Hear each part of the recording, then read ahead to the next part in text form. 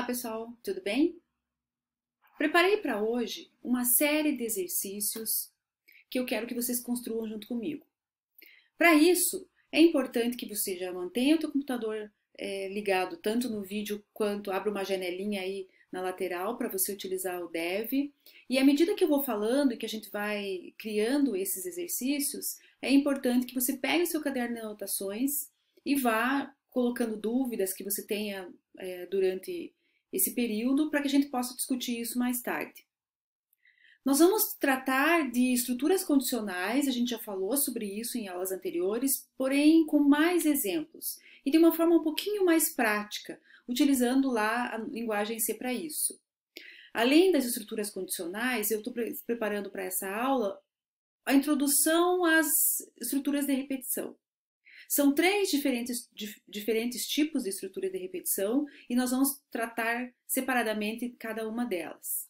Para não ficar muito extenso esse vídeo, provavelmente ele vai ser dividido em um, dois ou até mesmo três vídeos. Com isso, eu acredito que vai ficar um pouquinho mais fácil de você tra trabalhar lá na atividade 2.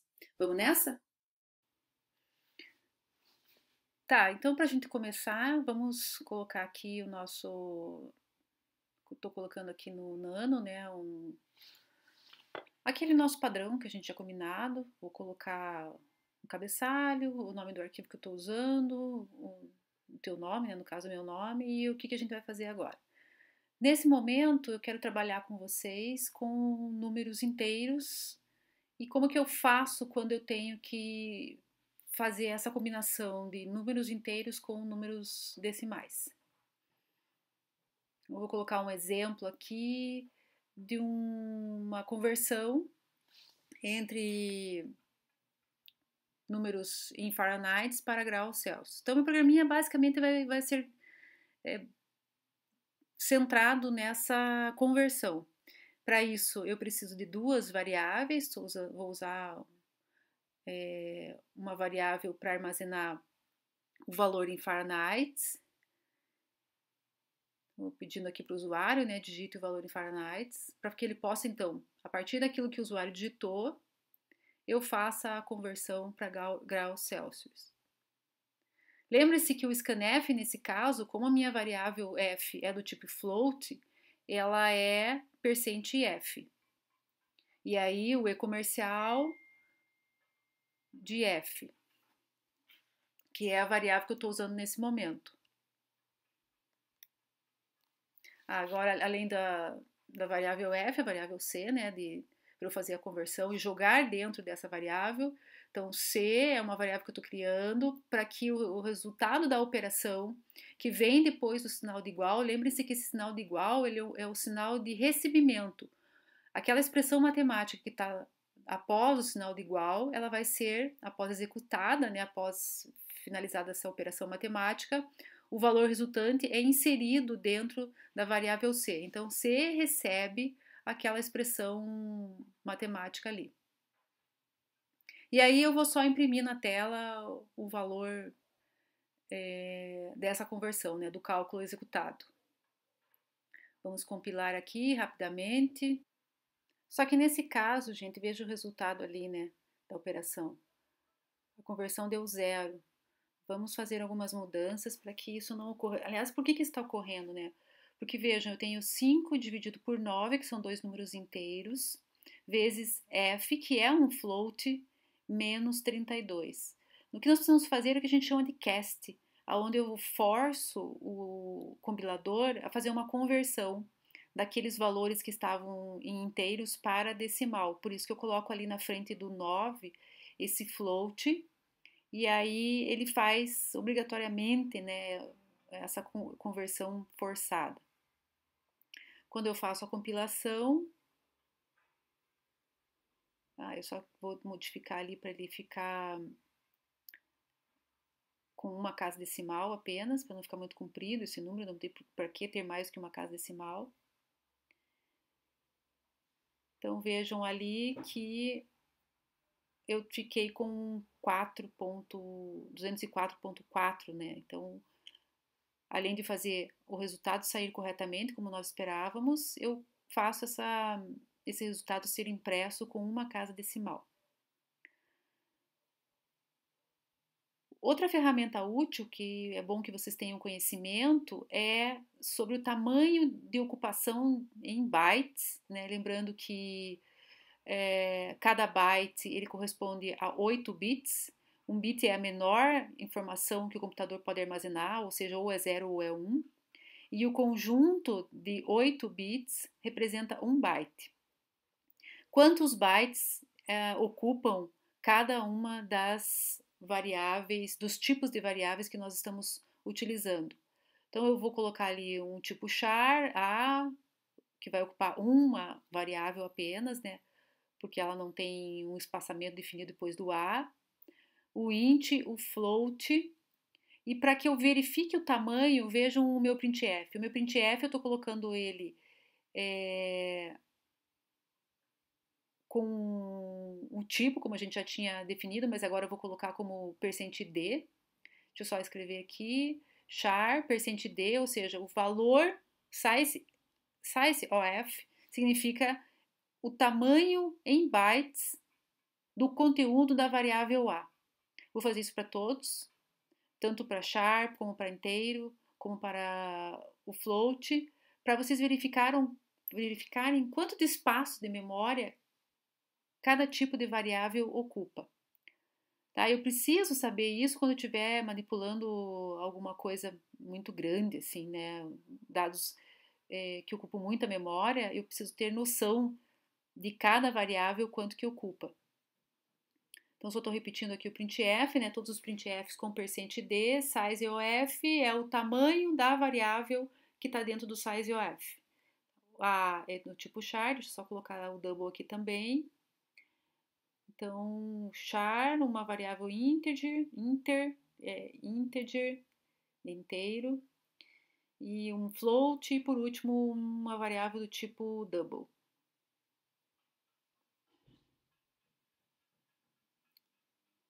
Tá? Vocês podem é, executar, vai depender um pouquinho do, do compilador de vocês, o tempo para fazer isso, né, da, da digitação de vocês, desculpem. Mas eu vou, daí depois se vocês quiserem pausar esse vídeo, acho que fica mais fácil para vocês compilarem. Então é só faz a compilação, né, desse arquivo novo que a gente criou. Opa, deu um erro aqui, vamos só Tá, gente? Isso aqui é importante vocês verificarem que quando, quando eu erro alguma coisa, o compilador não, não me permite é, ir para frente, né? Então, ali, o que, que faltou? Faltou um ponto e vírgula, né? Então, vamos colocar ali. Lá embaixo, na verdade, hum, só colocar um comentário aqui para vocês, quando vocês forem estudar não se perder, né? O que a gente está fazendo com esse size OF? Eu estou verificando qual o tamanho da, de memória ocupado por cada um desses tipos de variável. Qual o tamanho em memória, né? Em bytes, de um char, de um, in, de um inteiro, de um float e de um double.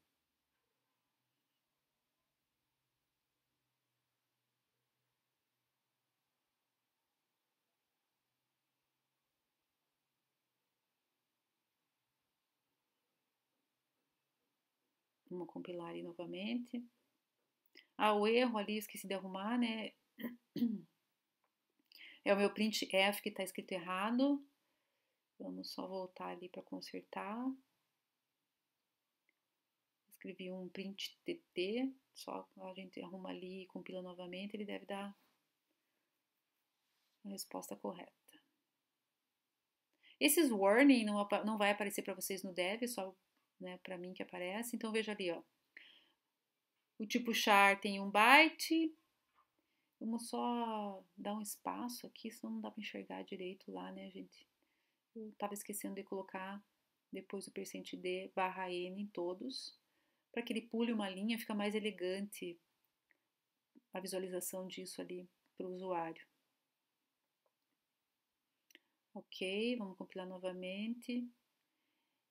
E agora sim, fica mais bonitinho, né? Então, o, o tipo char é um byte, integer e float são 4 bytes e o double 8 bytes. Tá? Só para vocês terem ali noção de quantos bytes ocupa cada tipo de dado que você for utilizar.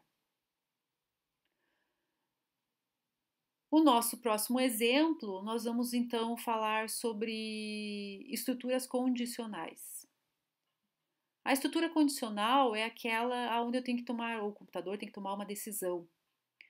É, vocês vão vou fazer um exemplo aqui bem, bem simples, né, bem rapidamente, para aí acho que fica mais fácil de fazer o entendimento. Deixa eu só terminar de digitar aqui, return zero, fecha.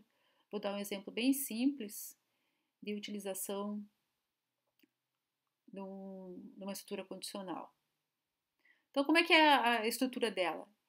If, que significa os, né, a palavrinha se, se essa condição for verdadeira, execute a linha de comando que está a seguir. Se não for verdadeiro, se tiver a condição que estiver ali, né, for falsa, ele não executa o que está, os comandos que estão dentro das chaves. Que exemplo que eu poderia usar para isso? É, deixa eu pensar. Uma bomba de pressão. Ah, se a, a, temperatura estiver acima de mil graus, o que, que eu faço? Eu, essa bomba de pressão tem algum problema de a, a temperatura ser maior, né, estar a mil graus? Sim, se for verdade, se a bomba de pressão estiver a mil graus ou acima de mil graus, o que, que eu tenho que fazer? Desligar a bomba? Qualquer coisa nesse sentido. Então, esse tipo de operação ela permite que o meu código computacional tome decisões importantes sobre até manter ou não uma máquina ligada, nesse caso da pressão, né, por exemplo. Vou fazer um exemplo simples aqui, só para vocês verificarem. Então, estou colocando ali o valor de x, é, recebe 5, então dentro da variável x, estou colocando o valor 5, dentro da variável y, eu estou colocando o valor 7, e aí z é, recebe x mais y, então z vai guardar 12, e aí o meu if faz uma verificação. Se Z for maior do que 10, isso é uma verdade ou é uma, uma falsidade? Nesse caso, 5 mais 7, 12, então Z é maior do que 10, é verdade, é uma, é uma resposta verdadeira. Como isso aí é uma resposta verdadeira, aquela condição é uma verdade, o meu printf pode ser executado. Se eu mudar aqui, ó, se z for menor do que 10, o que, que vai acontecer? a, a condição vai ser falsa e o meu printf z é maior do que 10 é, não vai ser impresso, e sim o que está no else ali, né, que seria o caso contrário. O caso contrário imprima outra coisa. Né? Então, quando a condição ela é verdadeira, ela imprime o primeiro printf que está dentro das chaves. Caso contrário, que é o se não, ele vai imprimir o segundo printf. Vamos compilar aqui só para verificar isso, se realmente corresponde ao que a gente espera que o código faça. Eu errei ali. Ah, tá, já sei. Eu coloquei ali um ponto e vírgula, é uma vírgula, só vamos consertar ali rapidinho. Compilamos novamente.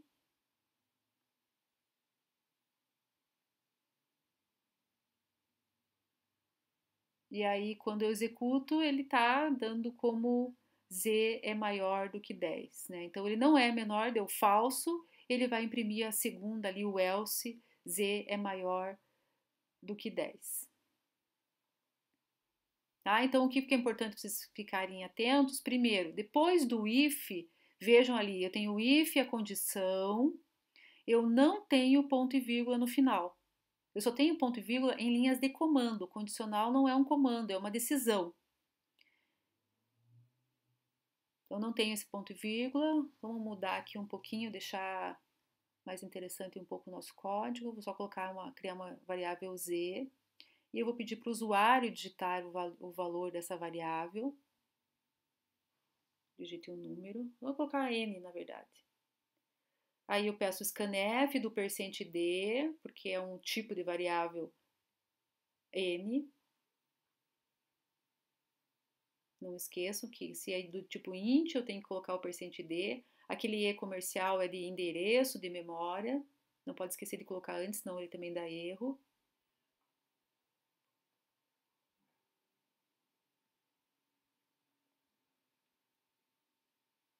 E agora eu vou mudar um pouquinho aqui também a minha estrutura, a minha condição, né? Vamos mudar algumas coisas aqui na condição.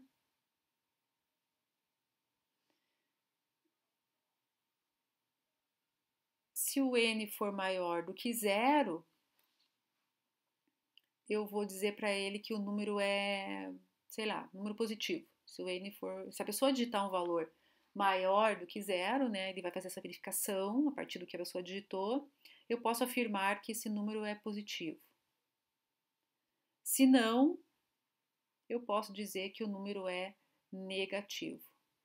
Vamos mudar aqui, número negativo.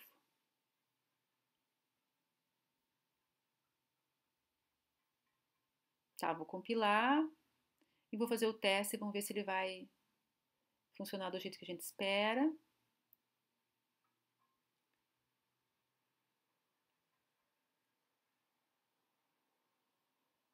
Ali, ó, digitei o número 8, né, positivo, menos 9 negativo, e o zero ele me fala que é um número positivo. Puxa, nós esquecemos de falar do zero. Então vamos voltar ali no nosso código e inserir mais essa verificação. Eu fiz uma verificação se o número é maior do que zero, se o número é menor do que zero, mas eu não fiz a verificação quando o número for igual a zero. Então, é uma terceira possibilidade para o n. Nesse caso, se n for maior do que zero, imprima número positivo. Se não, e aí veja, eu vou fazer mais uma verificação. Se não, então por isso que eu coloco else if, se não, se n for menor do que zero, número negativo, se não, no último, a verificação, caso contrário, caso ele não seja nem maior e nem menor do que zero, ele é o próprio zero. Então eu posso escrever o número é zero. Então a última estrutura dentro da, da, da condicional é sempre um else. Vou compilar novamente. A menos que eu faça um if sem else, né? Aí seria o próprio if a última estrutura. Digitei o número 8, número positivo. Digitei ali menos 8, número negativo. E 0, o número, nesse caso, é 0. Ok, pessoal?